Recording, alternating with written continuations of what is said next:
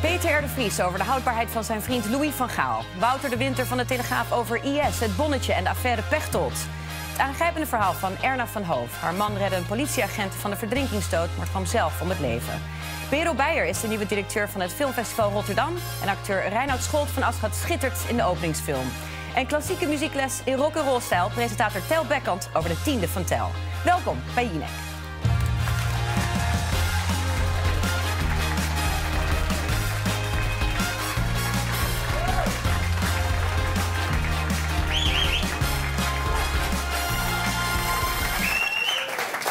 Dames en heren, goedenavond en hartelijk welkom. Ook welkom aan mijn gast hier aan tafel. We gaan meteen naar het nieuws van vandaag. De Partij van de Arbeid is om. Nederland kan ook meedoen aan bombardementen boven Syrië. De partij was lange tijd tegen de uitbreiding van de militaire strijd tegen IS. Nederlandse F-16's droppen nu alleen bommen boven Irak. De Amerikanen en de Fransen drongen er al een tijdje op aan. Kan Nederland niet meer doen in de strijd tegen IS? Bombarderen in Syrië bijvoorbeeld. De PvdA is daar nu ook voor. Het zijn nooit uh, beslissingen die je lichtvaardig neemt. We hebben ons goed laten voorlichten. De commandant der strijdkracht is bij ons geweest, maar ook mensen van Buitenlandse Zaken, mensen van Pax Christi. Dus we hebben het van alle kanten bekeken en vanochtend uh, gezamenlijk de knoop doorgehaakt. Ja, Wouter, de Partij van de Arbeid is eindelijk om. Is dat een goede zaak wat jou betreft?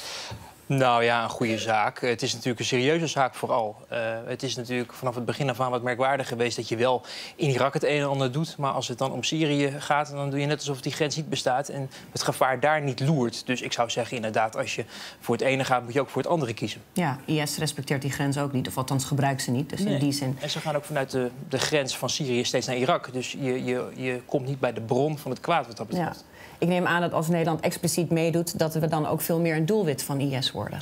Daar is ook over gesproken. Dat houdt mm men ook serieus rekening mee. Maar ook bij de PvdA zeiden ze dat je door dat soort dingen niet moet laten afleiden. En dat je je principes, namelijk het, uh, wat de PvdA belangrijk vindt, dat uh, rechtvaardigheid en veiligheid ook in die regio op een of andere manier uh, voor elkaar komt, dat je dat moet verdedigen. Ja. Politieagenten gaan op straat patrouilleren met mitrailleurs. Dit naar aanleiding van de terroristische aanslagen in Parijs. Speciale politieeenheden krijgen niet alleen maar vuurkracht, meer vuurkracht, maar ook een betere helm en een sterker kogelwerend vest. Dit beeld kennen we wel. Zwaar bewapende politieagenten bij een Eurotop bijvoorbeeld. De eenheid die dat werk doet, van 300 man, is nu met 150 uitgebreid. En die zal de politie in geval van verhoogde dreiging inzetten op straat en bij stations en zo. Dit zijn mensen die zijn opgeleid om met een automatisch wapen uh, eventuele aanvallers uit te schakelen. Uh, dat zit dus enerzijds in het feit dat je automatische wapens hebt waar je meer mee kunt dan onze normale Walter. Maar het zit ook met name in de training. Lekker veilig gevoel, Peter? Ach, ik denk dat het onontkoombaar is. Uh, maar of het werkelijk heel veel zal helpen als er sprake is van een echte aanval, terroristische aanval, dan waag ik dat te betwijfelen. Maar ik denk dat het onvermijdelijk is. Het wordt nu ook ingezet bij uh, de binnenkomst in Nederland van uh, tal van politici uit het buitenland. Mm -hmm. Omdat Nederland natuurlijk het EU-voorzitterschap heeft. Ik denk dat die buitenlanders dit ook allemaal wel verwachten. Ja. Dat als daar een, een agent met platte pet en een pistooltje op zijn heup staat, dat we denken is dat alles. Ja, een beetje vrijblijvend. Ja. Maar dwingt het misschien ook, want we kennen het uit het buitenland. En altijd als ik ze zie, denk ik, oei, daar moet je geen ruzie mee krijgen. Zou het misschien ook wat meer respect afdwingen voor de politie? Mm, ja, hangt er vanaf bij wie. Ik denk dat een terrorist zich daar helemaal niet door laat leiden. Wat voor bewapening de politie heeft. Of dat nou een pistool is of, uh, of zo'n uh, machinegeweer. Dat, dat laat een terrorist nee. koud. Maar een, een heel beidehand joch op straat met een grote bek? Mm, nou, ja, Als je een mitrailleur tegen je kop krijgt? Ja, maar dat zal toch ook niet echt de bedoeling zijn om een jongen met een grote bek zo'n wapen op zijn hoofd te zetten. Weet, dan, dan zitten we hier ook weer aan tafel. Dat begrijp, ik, dat begrijp ik, dat begrijp ik. Ja. Supermarktconcern Jumbo neemt per 15 februari alle losse Laplace-vestigingen over. Ook wil het bedrijf verder met de restaurants en verkooppunten in de warenhuizen van V&D. Dit hangt af van de doorstart van V&D. Jumbo-topman Frits van Eert garandeert dat 90% van de 1600 werknemers van de losse vestigingen hun baan kunnen behouden. We hebben natuurlijk heel goed naar Laplace gekeken. Uh, niet de afgelopen weken, maar al veel langer. Uh, we zijn heel erg gecharmeerd van de manier van ondernemen binnen Laplace. En voorlopig zullen we dat zeker zo laten. We zijn heel blij dat de mensen daar ook graag met ons deze samenwerking aan willen. En de komende tijd zal uitwijzen hoe we het precies allemaal verder gaan doen. Ja, Tel, voor een reizend artiest zoals jij is het natuurlijk een droom die uitkomt dat de Laplace blijft. Um, nou, als wij in de, in de vreedkik terechtkomen, uh, met onze tournee, dan is de Laplace vaak al dicht. Dus je, dus, uh, je pleit nu voor verruimde openingstijden? Je moet gewoon, want Laplace is best oké, maar ze moeten dan wel echt laat open zijn. Want overdag kun je eigenlijk alle kanten op, maar s'nachts ben je... Uh, Aan je lot over. zijn zelfs die, die luikjes dicht in het tankstation. En dan moet je een. Uh, ik, ja, ik, ben, ik ben al wel eens met een bifi-worstje in bed beland. Niks mis met bifi-worstjes. Ik heb dit vaker in mijn leven gezegd. Ja, dus je moet ze eten. Het gaat niet goed met Louis van Gaal bij Manchester United. En dat is zacht uitgedrukt. De Engelse topclub verloor afgelopen zaterdag met 0-1 tegen Southampton, de club van Ronald Koeman. Louis van Gaal heeft Manchester United zijn ontslag aangeboden na de nederlaag tegen Southampton van afgelopen weekend. Dat meldt de Britse krant The Guardian. Eerder dit seizoen zei Van Gaal nog dat hij niet zelf zou opstappen. Maar het lijkt er nu toch op dat hij de eer aan zichzelf houdt. Yeah, there were conversations that took place between Louis van Gaal and Ed Woodward. Ed Woodward has also been talking to some of the senior players here and senior figures at Old Trafford, but at no stage did he offer his resignation. Ja, Peter van Gaal is een vriend van jou. Hebben jullie de afgelopen dagen veel contact gehad hierover? Ja, we hebben contact gehad met name over de onjuiste berichtgeving hierover. Uh, en daar stoort hij zich uh, ook terecht aan. Er wordt van alles geroepen en de Nederlandse media, de NOS voorop, nemen dat klakkeloos over bijna. Terwijl het uh, volkomen onjuist is. Dus hij heeft absoluut niet zijn ontslag ingediend? Hij heeft niet zijn ontslag ingediend. Het is zo dat hij in december, heeft hij een gesprek gehad met Ed Woodward, de grote baas van Manchester. In dat gesprek heeft Louis aangegeven dat hij zichzelf niet groter vindt dan de club. En dat als het voor de club beter zou zijn, hè, als, als Woodward dat zou vinden, dat hij opzij zou stappen, dat Louis daar bereid was om aan mee te werken. Maar dat was in december.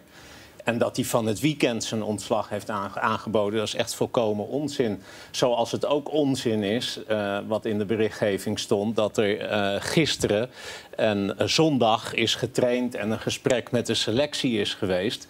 Nou, uh, de scherpe waarnemers die hadden kunnen constateren dat Louis van Gaal op zondag en maandag gewoon in Nederland was. Mm -hmm. En er dus ook niet getraind werd. En dan laat men beelden zien op televisie van een training. Dat zijn gewoon oude beelden. Dat zijn dat een beetje van die een training die helemaal niet heeft plaatsgevonden. En zo ontstaat natuurlijk wel een soort van self-fulfilling prophecy. En... Een Engelse krant schrijft wat. De NOS neemt het over. De, eigenlijk, ja, Guardian de, de is niet de minste wereld. Britse ja, krant natuurlijk. Maar het is wel onjuist. Ja, het is nee, gewoon zeker. niet waar. En uh, zijn dat dan, uh, sorry, gaat het voor, over de app of telefonisch, jullie contact? Uh, telefonisch en over de app. En zijn dat dan woedende appjes met veel uitroeptekens? Nou, ik heb er veel contacten over ook met, met Truus, zijn, zijn vrouw. En nou ja, kijk het is natuurlijk heel storend als je in een moeilijke situatie zit. Want dat, dat is zo en dat onderkent Louis ook dat dan dit soort berichten de wereld in worden geholpen. Van nou ja, hij heeft zijn ontslag aangeboden. het hangt allemaal al aan een zijdendraadje, et cetera. Ja. Dan gaat ook, gaan de fans die denken van nou ja, het is over. Hij, ziet, een hij soort, gelooft er zelf uh, niet neerwaartse spiraal ja, dan, natuurlijk. Dan krijg je ja. zelfvervulling. Maar was hij in Nederland om zijn wonden te likken? Hij was in Nederland omdat zijn dochter jarig was. En die wilde die met een uh, bezoek verrassen. En uh, de hele selectie die had twee dagen vrijgekregen. Dus van trainingen en gesprekken is gewoon helemaal niks waar. Hier zien we met en ja, de, de, ik kreeg dit, deze foto opgestuurd door, uh, door Truus van Gaal. En die zei, nou, dit is, uh, dit is de training die Louis gegeven heeft Kijk, met zijn kleinkind. hebben we het meteen uh, rechtgezet. Ja. Hij had heel veel credits bij zijn fans, maar afgelopen zaterdag bij die 0-1 nederlaag klonk het zo. And it's all over. Just listen to the boos at Old Trafford. Listen to that. There we are. You can hear just how angry those United fans are.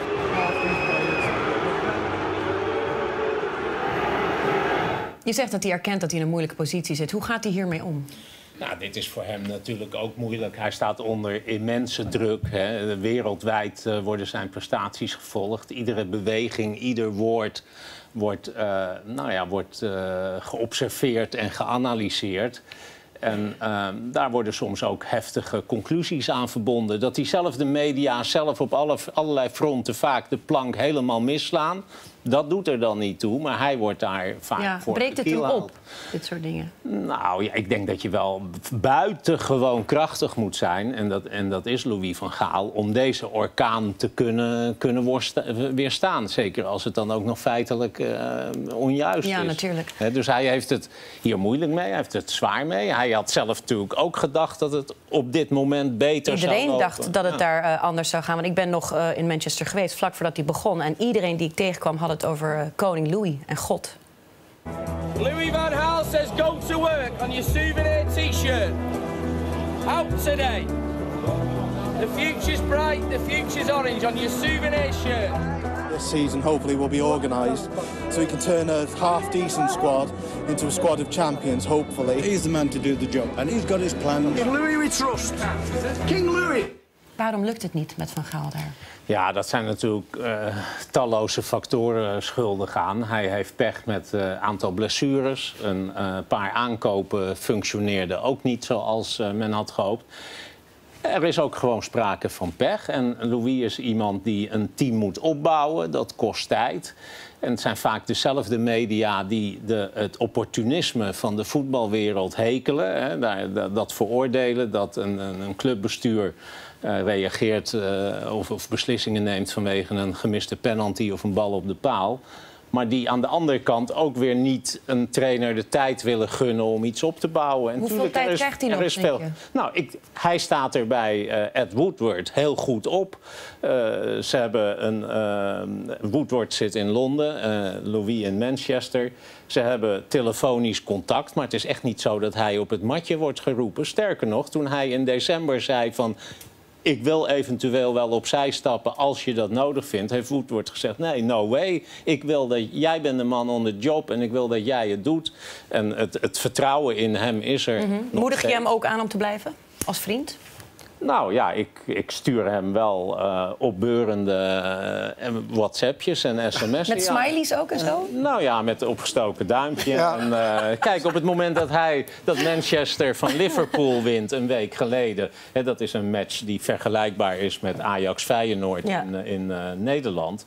Nou ja, dan, ik kijk elke wedstrijd en rondom elke wedstrijd hebben we ook contact. Nou ja, dan, dan ben ik daar wel eh, heel blij en Tuurlijk, als een opgetogen over. opsteker. En hij ook. En dan hoopt hij ook dat dat net even het kantelpunt is en het de week daarna beter gaat. Ja, en dan speel je tegen Southampton afgelopen week en krijg je drie minuten voor tijd en een goal tegen. Dat, ik zou dat zeggen, eh, blijf hem eh, opgestoken duimpjes sturen. Zeker. Even kijken. Is het wel of niet een doofpot? Er lijkt maar geen eind te komen aan de slepende kwestie rond de Teven-deal. Door nieuwe onthullingen van het programma Nieuwsuur is de zaak inmiddels heropend. Met alle schade van dien voor het kabinet. Minister van der Steur moet niet lekker wakker geworden zijn vanochtend na de nieuwe onthulling van Nieuwsuur. Het is duidelijk dat eh, de suggestie eh, lijkt alsof er eh, een opdracht zou zijn gegeven tot het stoppen van het onderzoek. Dat moet duidelijk worden of dat ook zo is. En eh, daarom hebben we onmiddellijk gevraagd aan de Oosting om het onderzoek te doen. En daar wachten we rustig op, maar ik vind wel dat er snel duidelijkheid moet komen. De commissie Oosting is nou aan het werk en dan gaan we even afwachten. En eh, dan gaat u het merken. Wilt u het zelf weten overigens? Ik wil het heel graag weten, maar ik zeg er nu voor de rest helemaal niks over. U weet het ook niet? Nee, dat klopt. Tot ziens. Ja, Wouter de Winter, chef van de parlementaire redactie van de Telegraaf, is hier. Eh, een andere man die het moeilijk heeft, Art van der Steur, gaat hij dit overleven in jouw analyse? Nou, het wordt allemaal wel erg moeilijk. En dat heeft nog niet eens zozeer te maken met deze jongste eh, ontwikkeling natuurlijk. Maar eh, de tien maanden dat Art van der Stuur minister van Justitie eh, is geweest... eh, zijn echt rampzalig verlopen. Ik zie hem alleen maar excuses uh, maken. Ja, hij is politiek echt kreupel inmiddels. Het, het, is echt een verdrietige toestand. We hebben met Volkert van der Geek gezien. We hebben gezien dat er in de aanloop naar de, het, het, het, aftreden van Opstelten en, en Teven... natuurlijk ook een wat dubieuze rol was geweest. We hebben de professor Maat kwestie gehad. Het is ja. maar vorige week dat daar weer een motie van wantrouwen... Hadden we het hier ook nog over aan tafel en nou dit weer. Ja. Opstelt heeft gezegd, want er was van hogerhand gezegd door iemand van directieniveau van stop maar met zoeken tegen ICT. Hij zegt op dat nieuws vandaag ik ben verbijsterd. En dat Ja. zegt Teven ook. Ja, hij heeft eh, afgelopen vrijdag daar al over gesproken. eh, in, eh, met mensen die nu in het kabinet zitten. Dus met de minister van Justitie van der Stuur. Mhm. En met premier Rutte. Dat was in het Katshuis, want daar was een afscheidsbijeenkomst voor het vertrokken staatssecretaris Mansveld.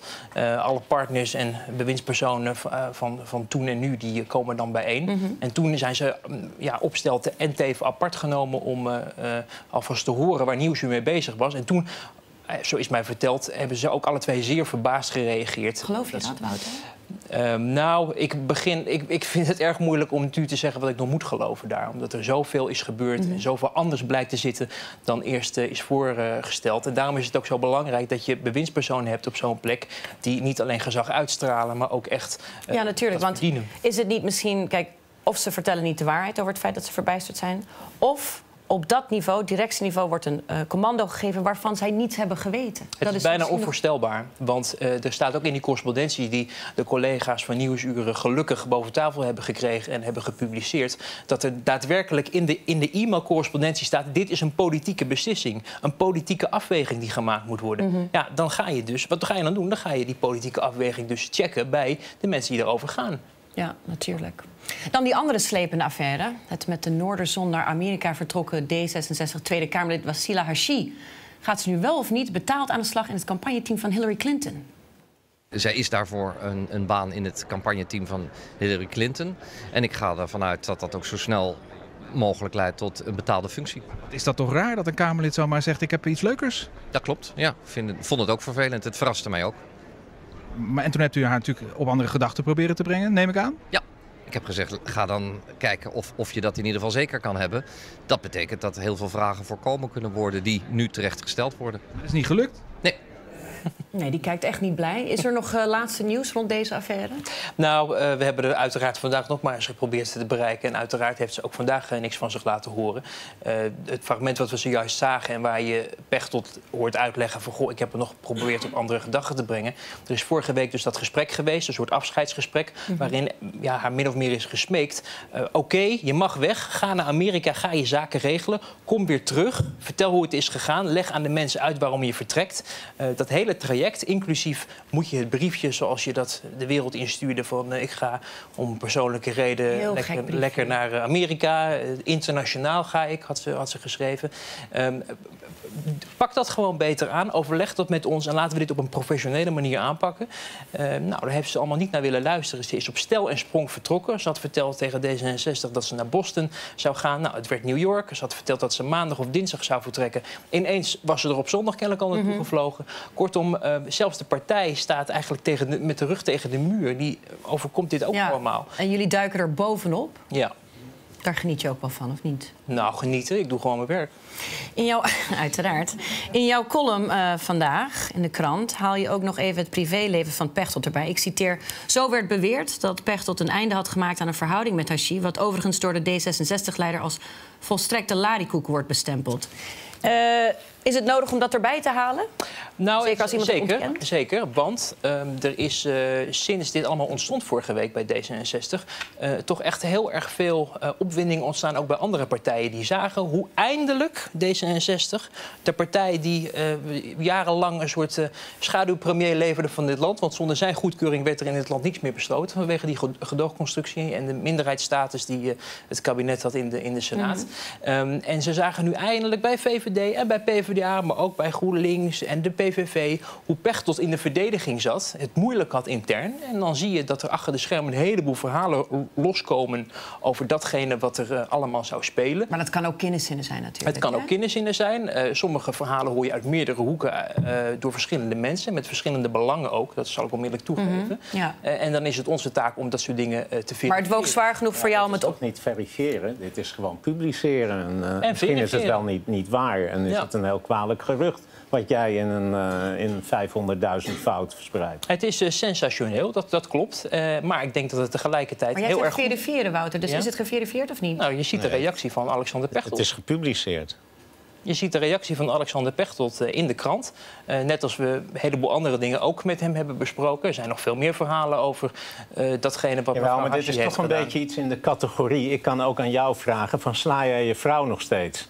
En als jij dan zegt nee, en ik, ik publiceer in de krant van... eh, nou, Wouter de Winter eh, ontkent dat hij zijn vrouw slaat... dan denkt toch half Nederland, nou, kennelijk slaat die Ja. man zijn vrouw. Nou, er is, er, is, eh, er is zeker wat voor te zeggen om het bijvoorbeeld niet op de voorpagina te zeggen van dit is gebeurd. Daarom schrijf ik het ook in een column als illustratie voor datgene wat er op dit moment in Den Haag gezegd wordt. En daar komt nog eens bij dat deze zaak zo mysterieus is eh, dat ook dingen in de privésfeer zeker niet moeten worden uitgesloten. En je ziet helaas in Den, in Den Haag vaker dat het in Den Haag niet altijd gaat om eh, wetten. Het zijn en ook gewoon mensen daar. Maar dat er dus echt ook andere zaken spelen. Ja, krijgt dit nog, Meer dan een gerucht uit. Zo staat het ook opgeschreven. krijgt dit nog een staartje, denk je, Wouter?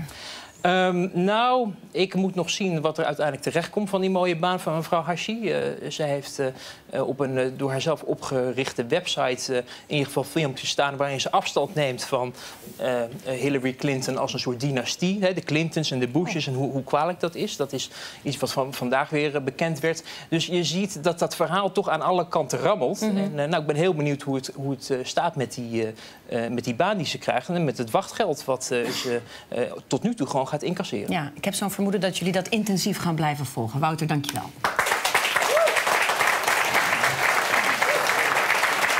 Survival specialist Kees van Hoof redt tijdens een sollicitatiedag van de politie een agenten van de verdrinkingsdood. Maar zelf komt hij daarbij ernstig in de problemen. Kees raakt in coma en overlijdt drie jaar later aan de gevolgen van zijn heldendaad. En hier begint voor echtgenote Erna van Hoofd een 15 jaar durende lijdensweg.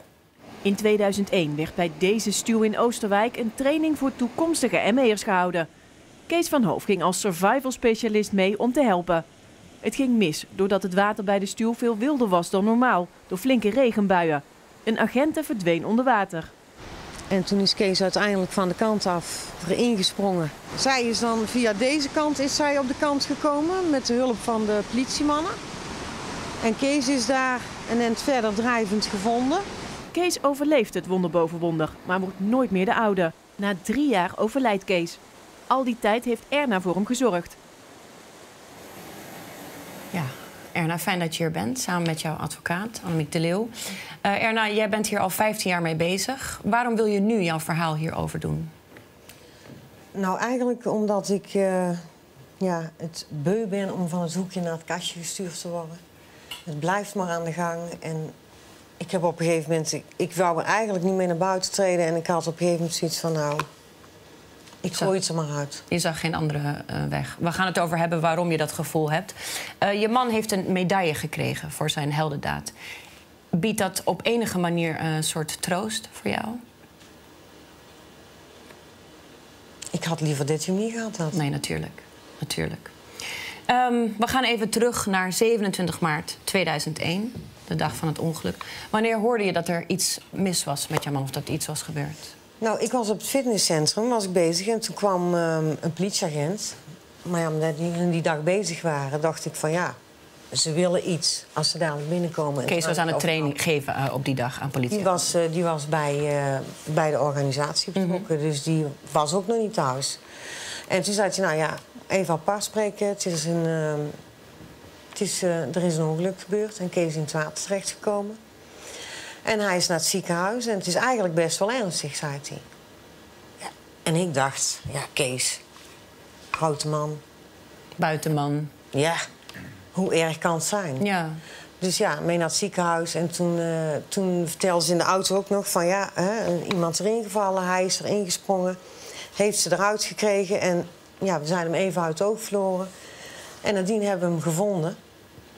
En eh, ja, toen moest ik gewoon wachten in het ziekenhuis. Na, na drie uur, ja, toen hielden ze hem in coma af. Dan, dan kom je op de afdeling en dan zijn het eh, toeters en bellen en eh, overal slangen. En dan zeggen ze, we houden hem in coma. En, eh, Dat hebben ze gedaan en uiteindelijk is Kees nooit meer de oude geworden. Hij is nooit echt wakker geworden. Je hebt niet het gevoel gehad dat je contact nog met hem kon maken. nou, wel op een andere manier. Maar niet meer in een gesprek. Hij kon niet meer praten, hij kon niet Nee. meer eten, niet meer bewegen, hij kon niks meer. Nee. Je hebt hem eh, in die staat drie jaar nog verzorgd voordat hij is overleden. Hoe waren die drie jaren voor jou? Dat was mijn eigen survival. Dat Ja. was echt van... ehm, ja, op overlevingsstand. Ik, ik weet het ook niet. Ik had drie kinderen, vrij jong, of ja, jong. Eh, de, de, fitness, eh, de zaak, het fitnesscentrum en, ja, en Kees. En, ja, er was gewoon heel veel werk. Heb je gedacht dat, het, eh, dat hij beter zou worden? Het eerste jaar wel. Het eerste jaar heb ik heel veel met hem getraind. Ik ben overal, ik heb alles geprobeerd om eruit te trekken. En, eh, en op muziek en eh, prikkeltherapie en mee naar buiten. En ja, ik kun niet verzinnen wat ik niet geprobeerd heb. En toen hebben ze na een jaar gezegd van... je, je hebt een jaar de, de kans. Hè? Dus dan kan er nog iets veranderen. Ja, en toen bleek dat er niks meer was. Nee. In ieder geval heel weinig. Ja. Eh, in het begin was jouw contact met de politie heel goed. Eh, ze hebben ook nog eh, geld aan jou gegeven om een aangepaste auto te kopen. Ehm, en ze wilden op een gegeven moment dat jij een verklaring zou ondertekenen om af te zien van hun aansprakelijkheid. Ja. Dat heb je toen niet gedaan. Nee. Om welke reden heb je dat toen niet gedaan? Ik dacht, voor mij was het een ongeluk. Dus hoezo aansprakelijkheid? Dus toen ben ik eigenlijk na gaan denken van ja, waarom doen ze dit? Waarom moet ik afzien van aansprakelijkheid? Ik heb niemand aansprakelijk gesteld voor iets. Je kreeg argwaan eigenlijk. Toen kreeg ik argwaan. En ik, ik, wil nog, ik wilde het eigenlijk ook eh, zien als een ongeluk. En, en verder tot, tot, tot dit. En toen begon het eigenlijk, ja, hè, dan begin je erover na te denken. En, eh, en toen ben ik eigenlijk begonnen om te kijken van... ja, wat is hier nou aan de hand? Waarom gebeurt dit? Annemiek de Leeuw, eh, u bent sinds kort de advocaat van Erna. Heeft de politie eh, slechte bedoelingen gehad op het moment dat ze Erna vroegen om af te zien van die aansprakelijkheid om iets te ondertekenen? Nou, wat ik van Erna begrepen heb, heb hebben ze haar een, een brief voorgelegd waarin ze die tegemoetkoming of dat bedrag voor die aangepaste auto hebben aangeboden als een Mhm. schenking.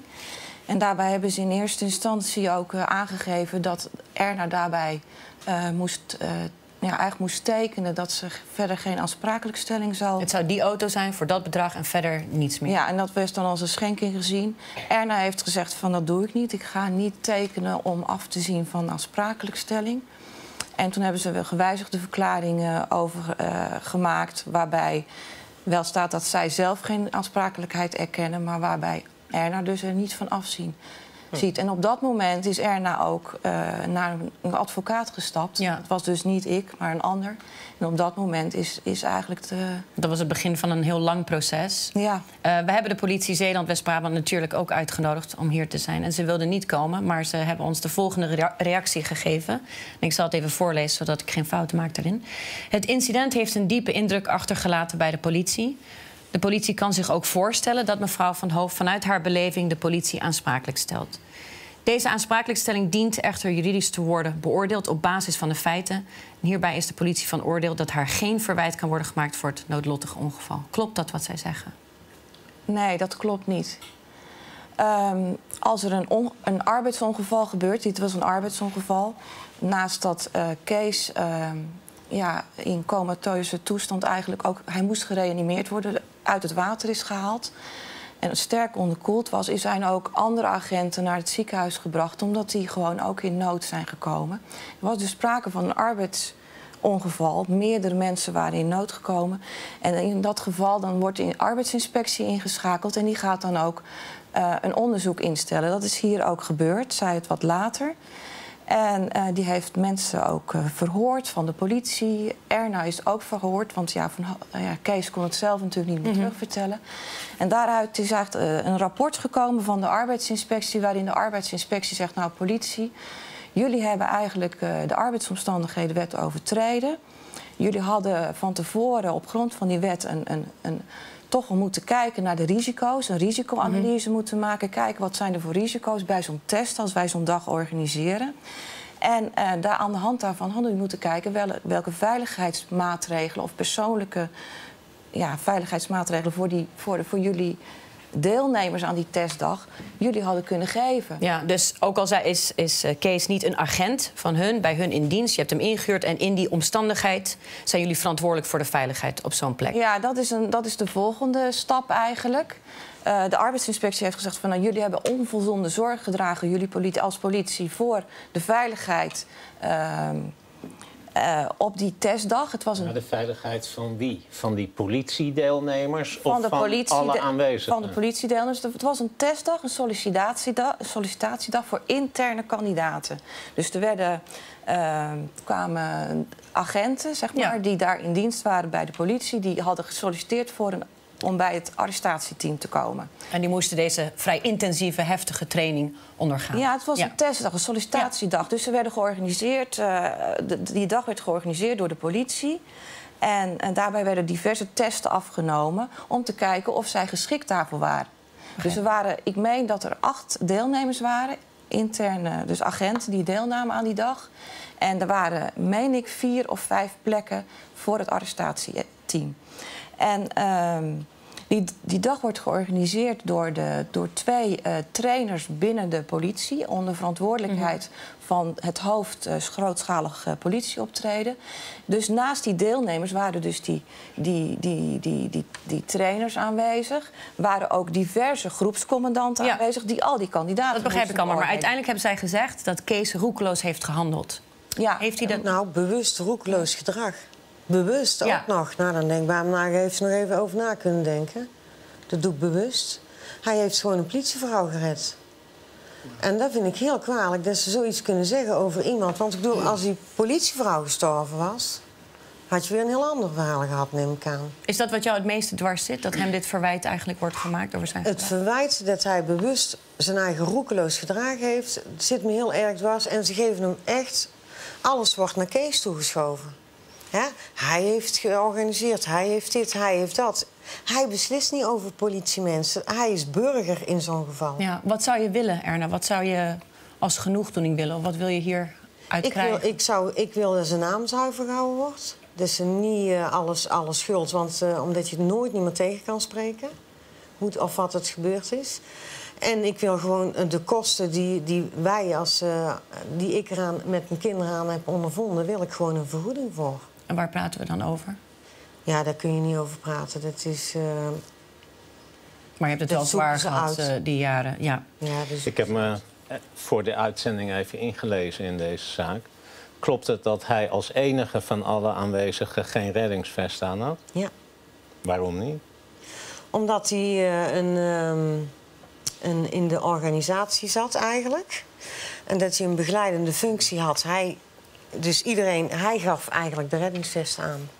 Dus de instructeurs hadden daar, eh, die begeleiden die opdracht. En hij stond erbij en hij gaf eh, hun de reddingsvest aan. Hij was daar niet Dus direct bij Misschien ook betrokken. met dat roekeloze gedrag. Nou- Iedereen had een reddingsvest aan, maar hij niet. Maar op dat moment was het natuurlijk zo dat eh, er was een agent eh, die was in nood. Er waren vier deelnemers naar beneden het water ingezakt. Die kwamen in, in, in, in nood. Dat ging niet goed. Die zijn allemaal gered en uiteindelijk bleef die agenten nog in het water. En Toen agenten Kees praten. En toen heeft Kees actie ondernomen. Iedereen, niemand deed wat. Er stonden allemaal politieagenten, geoefende mensen. En niemand deed wat. En Kees is daar ingesprongen. Heeft, heeft het eigenlijk, eigenlijk het gevaar... eh, die gevaar, dus gevaarlijke situatie die door die test eigenlijk eh, ja, ook gewild was. Want die mensen moesten getest worden op... Heeft hij genegeerd, hij is in het water gesprongen en heeft, En hij heeft, die, en hij heeft die agenten gered. Ja, Hij heeft eigenlijk ja. een grote schade voor, die, voor de politie voorkomen. En dat is ook wat ons ontzettend dwars zit. Had hij die politieagenten dan maar moeten, moeten, moeten laten verdrinken... door Nee. niet in te springen? Ik, eh, ik wens jullie heel veel eh, sterkte Dank je. met deze zoektocht. Dank voor het vertellen. Het Internationale Filmfestival Rotterdam opent morgen met de film Beyond Sleep. My father, he died when I was very young. He had an accident. Want some help? It's okay. It's okay. Hallo?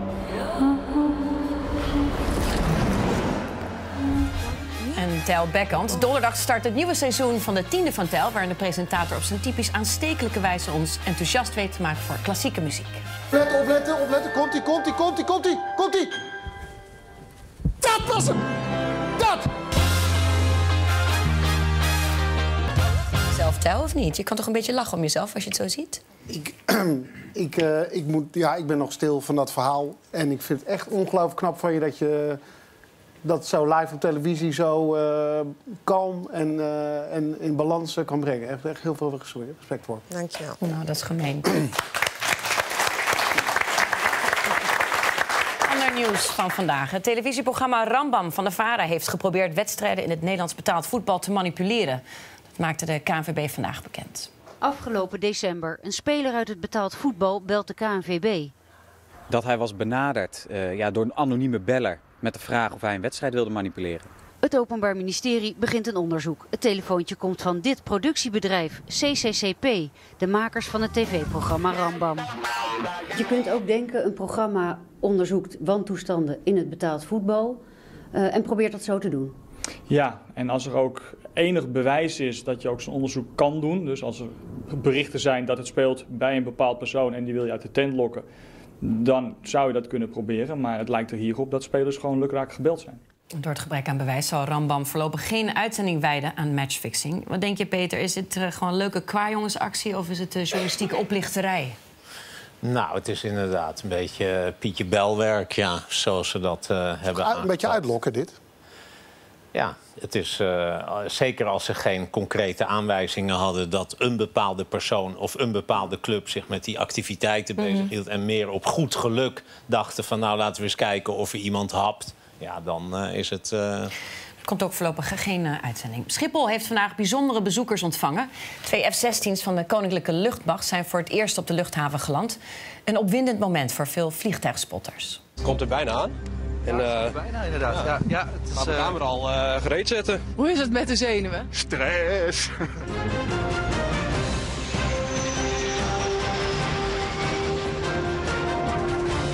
dan zie je ze zo dichtbij. En, uh, ja, dat vond ik heel speciaal. Ik vond het echt een hele gave ervaring om dat hier te zien. Ja, ik heb hem hoor. Gelukkig wel, ja. Goed gevoel? Ja, inderdaad. Stress, stress, maar ik heb hem. Tel, je lijkt me ook echt een vliegtuigspotter. Is het een turn-off voor jou, een vliegtuigspotter? eerlijk, Nee, nou- eerlijk zeggen, is het een dealbreaker? Het is geen dealbreaker, maar ik denk dat het wel ingewikkeld wordt. Ja? Je moet toch altijd een beetje meegaan in iemands passie. En dit, Ik vind het super heftig, mannen die vliegtuigen fotograferen. ik vind het ook... Tenzij hier iemand aan tafel zit... Die, Niemand durft dat nu nog toe te geven. Ja. Driftig, Ah. nee, schud het, Wouter. En morgen denkt iedereen, wacht eens even, wacht eens even. Zo werkt dat. Ik vond het zo lief ook dat hij zo'n stress had. Ja, precies. Gewoon een dag vrij, niet werken, lekker foto's maken en dan superveel stress. Ja, en dan naar huis. In de achtertuin van een 50-jarige Amsterdammer zijn honderden fietsen gevonden. Waar ze precies vandaan komen is onduidelijk, maar buurtbewoners hebben wel een sterk vermoeden. Zat er nog een fiets bij waarvan u dacht, nou, die zal wel gestolen zijn? Nou, ik denk dat ze allemaal gestolen zijn. Ik dacht dat het meer voor reparatie was of zo.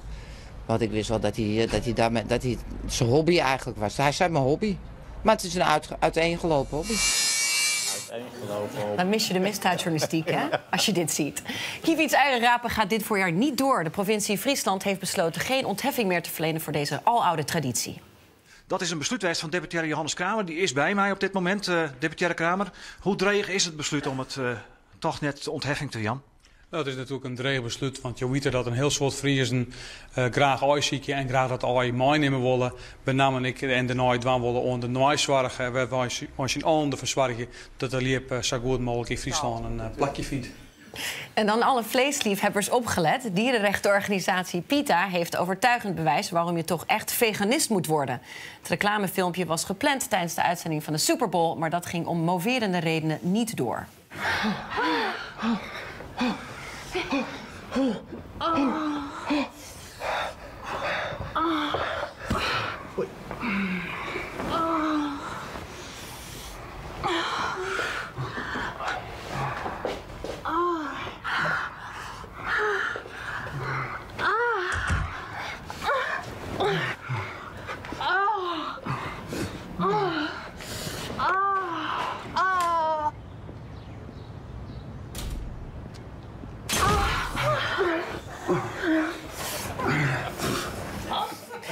Dat was de airco die van alle activiteit naar beneden flikkerde. Peter, jij bent een veganist, neem ik aan.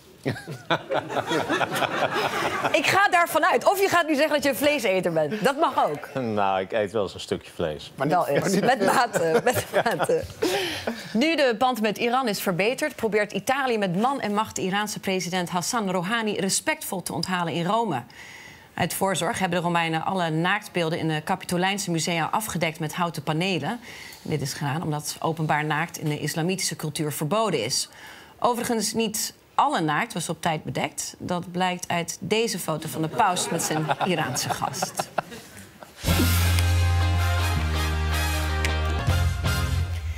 ...250 films en documentaires uit de hele wereld zijn de komende dagen te zien in Rotterdam. Daar begint het 45e Internationale Filmfestival. Een twee weken durend feest in het donker. Deze week dagelijks aandacht voor het festival hier aan tafel. Vanavond met directeur Bero Beijer en Reinoud Scholt van Aschat. Hij speelt de hoofdrol in de openingsfilm Beyond Sleep. Een verfilming van het boek Nooit meer slapen van W.F. Hermans. Heren, welkom aan tafel. Pero, ik begin bij jou. Je bent ooit als vrijwilliger begonnen bij het festival. Nu opgeklommen tot directeur. Dat is jouw eerste jaar als directeur. Was je al eh, verliefd toen je daar als vrijwilliger rondliep op dit festival? Verliefd eh, op eh, cinema, mag ik hopen dat je bedoelt. Ja, zeker. Nou ja, misschien ook op de sfeer daar op zo'n festival. Het is toch wel iets bijzonders. Magisch vond ik het. En wat is ik dat? vond het magisch. Ik vond het eh, alleen al een klein onderdeeltje te zijn van die wereld van film creëren. Of het nou een autootje rijden was of iets anders, vond ik te gek. Want er was een energie, er was een eh, levendigheid. Mensen wilden, hadden grootse plannen, hadden ambitie om iets te maken. En dat rookje, dat, eh, dat, dat, Dat voelde je overal daar. ja, dat neemt je in bezit. Op een gegeven moment mocht je ook, eh, ehm, dat was dan een soort promotie, zal ik zeggen, op deze lange ladder naar de top. Maar je mocht op een gegeven moment ook sterren ophalen van Schiphol. ja. Wie heb je in de auto gehad? Nou, ik heb alleen maar Kate Winslet in de auto gehad. Niet de minste. Niet de minste, Ja, zou ik oh, wacht. zeggen. Nee, ja, dat leek heel leuk. Ik was ook heel opgetogen toen ik naar één ging en mijn bordje liet eh, omhoog wapperde. Van nou, filmfestival Rotterdam komt u maar. Maar ze kwam uit Nieuw-Zeeland voor een film van Peter Jackson. Ja. Heavenly Creatures. En die was met haar vriendje trouwens, ook dat nog. En, eh, Die zat ook in de auto. Die zat, Die had geen privacy. echt veganisten. Eh, vielen meteen in slaap. Ze vielen meteen in slaap. Nee, je hebt helemaal niet met haar was- gepraat. Dat, nee, helemaal niet. Maar ze kwam heel veilig van A naar B en daar was ik heel trots op. Ja, natuurlijk. Ehm Koningin Maxima komt morgen ook. Is dat belangrijk voor jou? Nou, ik vind het heel fijn dat Hare Majesteit eh, haar waardering voor de culturele sector in het algemeen brengt. Moet je er ook ophalen? En speciaal. Komt ze Eh, zelf. ze komt niet met haar vriendje. Ehm, eh, ik hoef haar niet op te halen. Zij komt keurig langs. Ik zal haar met alle egaars ontvangen. Nee, maar cinema is mooi en cinema is belangrijk. Ik vind het heel belangrijk, dus het is heel fijn dat eh, ze langs Ja, natuurlijk. Reinoud, heb je al geoefend met wat je tegen haar gaat zeggen als je haar spreekt? Nee, eigenlijk niet. Misschien, misschien moeten we dat doen. Ja, dat is moet- denk ik ja. wel wenselijk. Ja, Hare Majesteit, ja. Of misschien ja, gewoon Maxima. Ik weet ik Durf eigenlijk niet wat... eh, Nee, ja, dat, dat, dat dat is aan haar om te zeggen natuurlijk. Hè. Zij moet zeggen van zeg maar Maxima. Nee, gewoon Hare Majesteit, ja. Bero, ik wil eventjes naar jou, naar jou eh, want het is natuurlijk overweldigend. 250 eh, films om uit te kiezen, dus we hebben een beetje houvast nodig. Je hebt er drie voor ons uitgekozen en we gaan ze laten zien en dan ga je een beetje... Ja, hij brengt echt iets nieuws, maar dat doet hij zo stijlvol en lekker... dat voor je het weet zit je gevangen in die Je kan met hem mee daarin. Land of Ja. the Enlightened is een andere favoriet van jou die we zeker moeten zien. Ja, daar ben ik heel trots op dat we die hebben. Die zitten in de Hievelstijger-competitie. Ehm, als een van de acht films die eh, in die competitie zitten. Super knap. Die man is eh, een Belg. Die is naar Afghanistan gegaan voor een documentaire. En heeft toen met deze jongens die je ziet... die daar druk bezig zijn opium eh, eh, te handelen... een eh, sprookjesachtige vertelling gemaakt van Afghanistan nu. Dus je ziet documentaire beelden van soldaten enzovoort. Maar het sprookje wat hij vertelt, zo cinematografisch en zo groots... dat je op een hele andere manier ineens een blik krijgt... van wat we anders eigenlijk een beetje wegschuiven van het Afghanistan. Van nou, dat is toch een zootje. Ja. Maar juist in die hoop van die jongens die eigenlijk... nou Ja, die, die jongen wil... eh, zijn vriendin wil die, wil die indruk opmaken... en haar, eh, met haar een nieuw koninkrijk in Afghanistan stichten. Heel feeriek eigenlijk. En Dat juist contrast gevoel- met eh, Ja, dat de werkelijkheid die wij kennen. Ja. Reinoud, in de openingsfilm de hoofdrol spelen, dat lijkt me nou ja, overweldigend eigenlijk voor je carrière, of niet? Ja, dat, was, ehm, dat nieuws dat wij de openingsfilm mochten zijn was wel eh, was, was goed. Het was groot nieuws, ja. Het is, een, eh, het, is ook een, ja, het is echt een eer. Het is een groot eh, ja, klassiek Nederlands verhaal. En om Daarom is dan- het ook cultureel erfgoed natuurlijk, eigenlijk, wat je doet. Ja, zeker. En om dan, om dan hier ja, en internationaal, maar en dus in Nederland in première te gaan, dat is perfect. Om je voor te bereiden op deze rol ben je echt... nou, ja, is het method acting dat je helemaal erin gaat zitten... zodat je weet hoe het voelt? Je bent echt naar Noorwegen gegaan. Je bent gaan leiden daar in Oh de ja, kou. Dit, eh, dit is een filmpje wat de regisseur had opgenomen. We zijn eh, eh, in, in Noorwegen gaan ehm, de bergen ingetrokken ja, een week. Of tenminste, ik wou eigenlijk in mijn eentje een week gaan om voor te bereiden voor die rol. Het gaat dus over iemand die, de, die ja, door de bergen trekt en verdwaald raakt. En ehm, toen zei Boudewijn Kolen, de regisseur, dan ga ik, als je het niet erg vindt, twee of drie dagen mee Mhm. Om eh, elkaar te leren kennen. Om, om, eh, Iemand heeft zijn telefoon aan hier aan tafel. Dat mag niet in een talkshow. Ik weet niet wie het is. Zal de parlementaire pers zijn. Het is de directeur van het filmfestival. Nee? Of we worden Het nu live gebeld. Oh. Nee. Ehm, Maar jullie Ja. gingen de bergen in. ja, eh, dat, da- daar hebben we eigenlijk ja, veel, veel inspiratie op gedaan. Het was meer hardcore dan je dacht eigenlijk, hè? Nou ja, hier zie je dus, we zijn in juni gegaan. Hè? We zijn echt Juni. eind juni. En we dachten, we, dat- dat, dat zit vol met, met muggen en eh, de zon dus die niet ondergaat. En ehm, dat, nou, de zon ging niet onder, maar er waren geen muggen, maar wel opeens een sneeuwstorm waar we in terecht kwamen. Onverwachts. Maar Dus, de eh, muggen zitten wel in de film. Laten we even kijken. Yeah, you met some of our flying friends already? Oh, yeah. Yeah.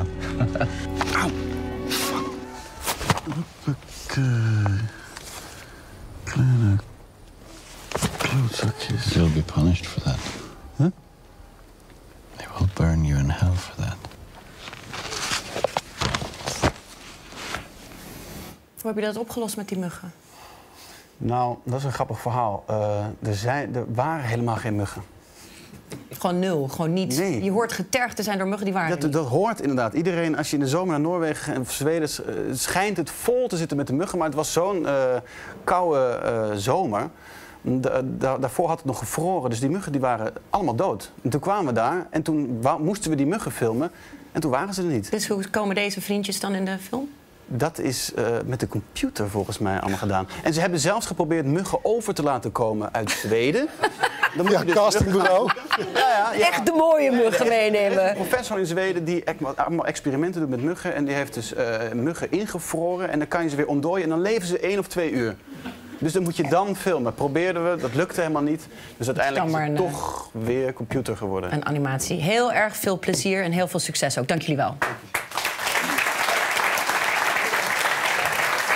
De missionaris van de klassieke muziek is weer terug met zijn programma De Tiende van Tel. Presentator Tel Beckhand wil dit seizoen het grote publiek nog enthousiaster maken voor de symfonieën van de grote meesters en pareltjes van de kleinere componisten.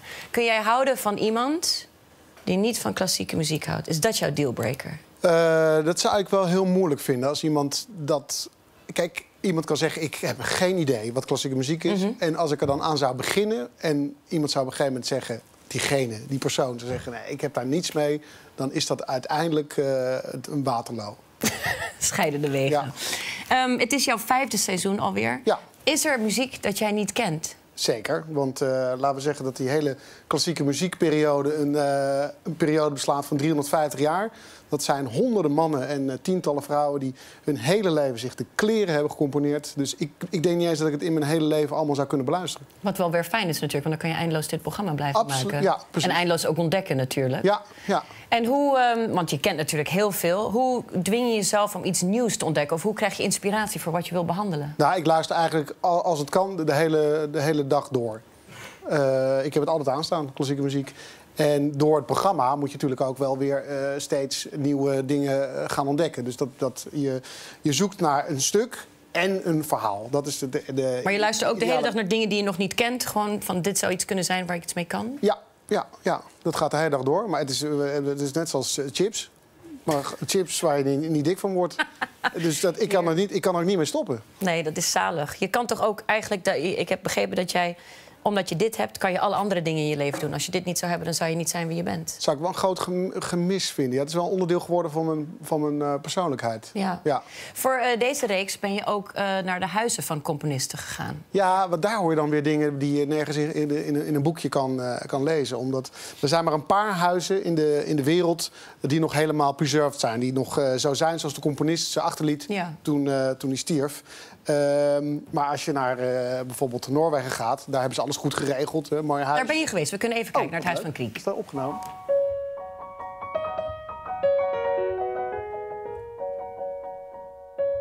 Ik mag het huisje betreden waar Edvard Griek zijn meesterwerk schreef. Hij woonde hier eh, achter met zijn vrouw. Dit was de plek waar hij creëerde. En het wordt speciaal voor ons opengemaakt. Niemand mag hierin, of althans, bijna niemand mag erin. En als je erin gaat, nou kijk maar even. Eh, we moeten onze voeten met plastic eh, afdekken. Er ligt een stukje tapijt voor ons. En eh, cameraman en geluidsman staan hier op, op plastic. Hieromheen, zei ik net, liep een paar honderd Chinezen tandenknarsend rond. Want die willen ook naar binnen. Maar voor ons wordt deze plek opengemaakt. Ja, dat is een bijzondere beleving natuurlijk als je het huis ziet. in Noorwegen is dat prachtig. Hij, die Griek eh, die had daar een eigen huis en een componeerhuis. Hij, hij is er ook in de rotsen begraven samen met zijn vrouw. Het is een prachtige estate met een, met een, met een, met een mooi winkeltje erbij... En een, en, een, en een restaurant waar het eten gewoon niet, echt niet te vreten is.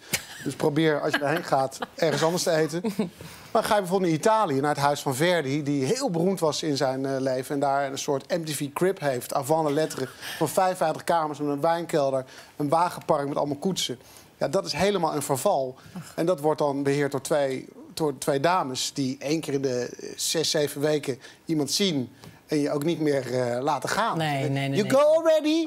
No, oh, Stay forever! I have here the skeleton of uh, Verdi. Je bent wel ontsnapt, gelukkig. Ja. Eh, dit seizoen staan de strijkkwartetten centraal. En we hebben jou gevraagd of je daar samen met het Matangi-kwartet... even kort voor ons een soort college wil geven. Dus ik zou zeggen, ga je gang. Ja, het strijkkwartet is eigenlijk de, de hoogste vorm voor een componist eh, die, die, die die kan bereiken. Hoogste muziekvorm. Je hebt opera, symfonie. Maar het strijkkwartet is zo moeilijk. En waarom? Omdat eh, met eh, toch beperkte middelen, maar vier instrumenten, twee violen, een altviool en een cello, moet je iets creëren. Eh, wat mensen boeit. En eigenlijk is het, eh, als je de link legt naar film. eh, de symfonie is een, is een blockbuster uit Hollywood. Want die heeft veel budget, dus de effecten maken wel een hoop goed. Maar zo'n strijkkwartet is eigenlijk een arthouse film. En daar gaat het toch om het script. Dat je met beperkte middelen enorm geboeid wordt. We beginnen even bij The Godfather, de Mies Bouwman van de strijkkwartetten. Jozef Haydn, die de baas heeft gelegd voor iedereen. En hij heeft heel erg zijn best gedaan. Hij heeft 68 strijkkwartetten geschreven. En we gaan richting naar het, het einde van zijn leven.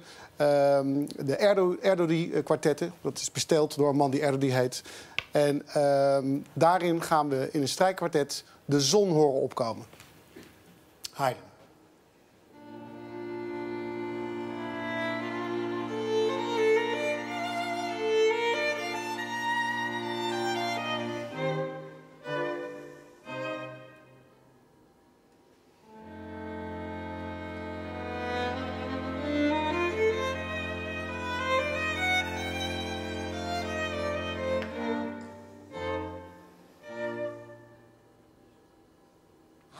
Was de, dames en heren, het Matangi-kwartet. Ja, ja, zeker. Ja. Haydn was eh, eh, niet alleen de leermeester, maar ook een, eh, echt een, een, een, tweede vader voor Mozart. En Haydn heeft eigenlijk Mozart voor een groot gedeelte mogelijk gemaakt. Haydn is een, een beetje een ondergewaardeerde componist. Hij heeft zoveel dingen uitgevonden. Het strijkkwartet, de symfonie. En daar is Mozart op, eh, op doorgegaan. Mozart is een veel groter talent en die heeft het strijkkwartet wat we nu gaan horen opgedragen aan Haydn. Maar hij heeft een boodschap willen geven aan Haydn. Hij heeft Haydn heel erg gerespecteerd, maar hij heeft wel willen zeggen: ik kan iets wat jij niet kan. En wat kan Mozart? Hij heeft kunnen reizen in de tijd. Hij heeft namelijk een, een vorm van muziek, van harmonie gevonden... die pas in 1930 werd uitgevonden. Maar wat we nu gaan horen is uit 1785. En het is ook later het dissonante kwartet genoemd. Mozart.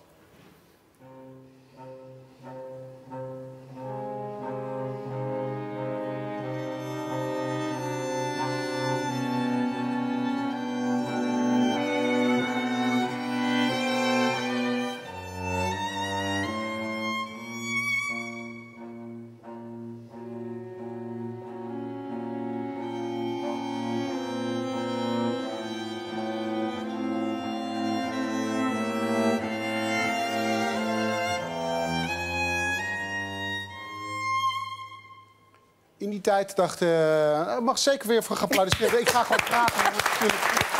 Ehm, in die tijd dachten mensen dat dit Dat een verkeerd, fout maakte, ja. dat het verkeerd gespeeld werd en eh, dat er fouten in de partituur Ja. moesten staan. En gek genoeg is dit een van de weinige partituren wat Mozart schreef. Alles gewoon in één keer uit. Dit is een van de weinige partituren die vol staat met verbeteringen en doorhalingen. Ah. Heel bijzonder kwartet. Dan maken we een eh, sprongje richting Frans Schubert. Eh, Frans Schubert werd maar 31 jaar, ook een meester van de strijkkwartetten. Maar die wist al vrij snel dat hij doodging. En in zijn laatste jaar, dat hij wist dat hij naar het einde ging... schreef hij het strijkkwartet. Niet alleen wetende, ik ga dood... maar ook nog wetende, niemand heeft mij ooit gekend. Want waar Haydn succes had en Mozart op zijn manier ook succes had... eh, werd de muziek van eh, Schubert niet eens uitgevoerd. Dit strijkkwartet is tijdens zijn leven één keer uitgevoerd. En een kenner die zei, weet je wat jij moet doen, Schubert? Jij moet lekker liedjes blijven, schrijven. Oh. En in die wetenschap heeft, is Schubert gestorven. En dit uh, strijkkwartet is zijn afscheid aan het leven. Schubert.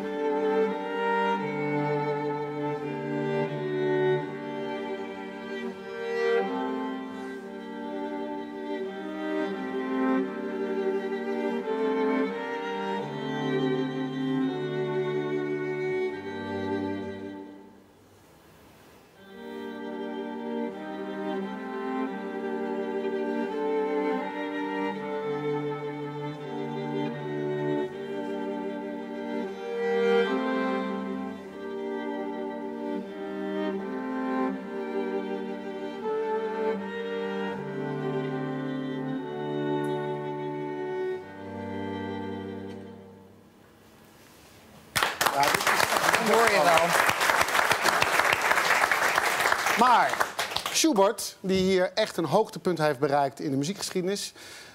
die vroeg op zijn sterfbed of er nog een strijkkwartet voor hem voor de laatste maal kon worden gespeeld. En dat was het 16e strijkkwartet van Beethoven. En daarover heeft hij gezegd, vlak voor zijn dood... Wat is er nog te componeren voor ons nadat dit gemaakt is? En Beethoven is ook de absolute grootmeester geweest van de strijkkwartetten. Ik moet je voorstellen, hij had op een gegeven moment die negende symfonie geschreven, vlak voor zijn dood. Dat, dat is zijn magnum opus, daarmee heeft hij eigenlijk alles gezegd. Beethoven was al 25 jaar doof. Hij had geen vrouw, hij had geen kinderen. Hij was gebrouilleerd met zijn broers. Uh, hij had met iedereen ruzie. Hij kon zijn muziek niet horen. Hij kon ook de, de moderne muziek van die tijd niet tot zich nemen. Um, dus hij was volledig verstoten eigenlijk van de wereld. En wat hij dan met dit strijkkwartet doet... en wat jullie gaan horen is echt, echt ja, de Mount Everest op het gebied van, van strijkmuziek, uh, van kamermuziek. Hij gaat nog één keer helemaal naar binnen. En dat doet hij ook vlak voordat hij overlijdt. Het is het laatste kwartet wat hij schrijft. Het laatste muziekstuk wat hij schrijft. Hij gaat helemaal naar binnen. Hij sluit zich van alles af. En hij heeft vrede. Wat je hier hoort is pure, pure harmonie.